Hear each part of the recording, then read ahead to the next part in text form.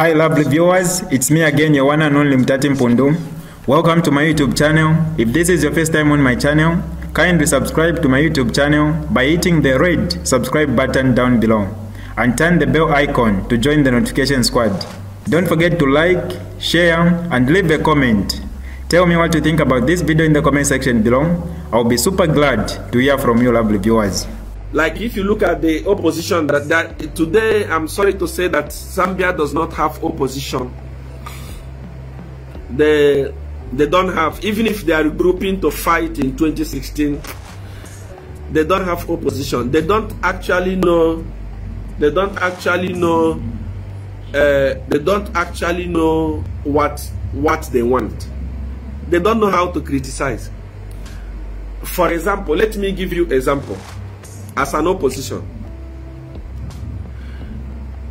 there is a news that came out on uh, Diggers newspaper or is it or Post newspaper that uh, I don't know if it's under 50 million dollar was missing from fertilizer or what what what.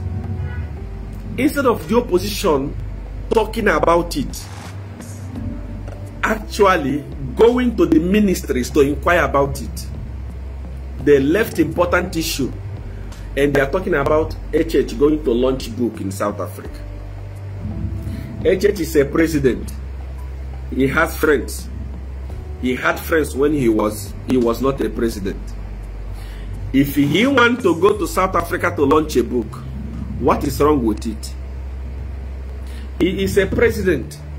Every president is entitled to do exactly what they want, even in their private time they can go you know what is wrong? Actually a man that is going to go is going to launch a book he didn't go to sleep with prostitute like uh, Edgar Lungu. He didn't go to uh, uh, do Casanova like the friends of Edgar Lungu.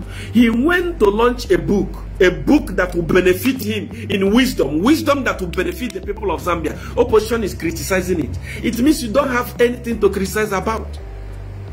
You are even talking about look you are even making noise okay there is a case that came came up where uh, the house of faith musonda was searched and uh, an amount of 60 65 million kwacha if i'm not mistaken was found.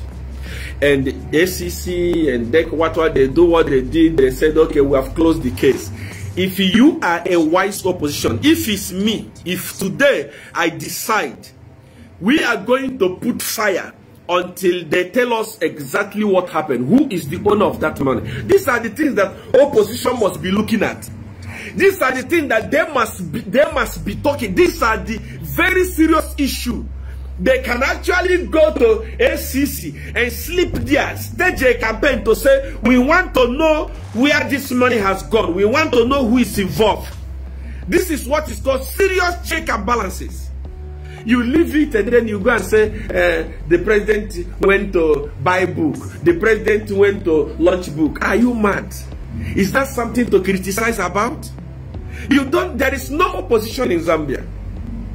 And this is the reason why we need to help President HH because if we leave him, he's going to sleep because the opposition don't have anything to offer. It will be so easy.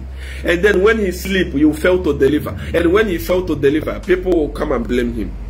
That's why we must help him to deliver. If if if you are talking about uh, opposition, there is nothing. There is no opposition in Zambia. Nothing. They, they are jokers people actually take them as jokers joke jokers maybe hamududu and uh, and uh, and the president Nevers Mumba maybe you can give proper check and balances but the one these guys are giving somebody like a Harry Kalaba a whole Harry Kalaba somebody that I picked up my phone with my own airtime to call and say support HH thinking that he has something. You know, I respected him. But looking at what is happening these days, yeah, I don't know what has happened. There is no opposition in in Zambia. Uh, uh, nothing. HH will, it will, he will just sail through like this. Wow. Because there is no check and balances.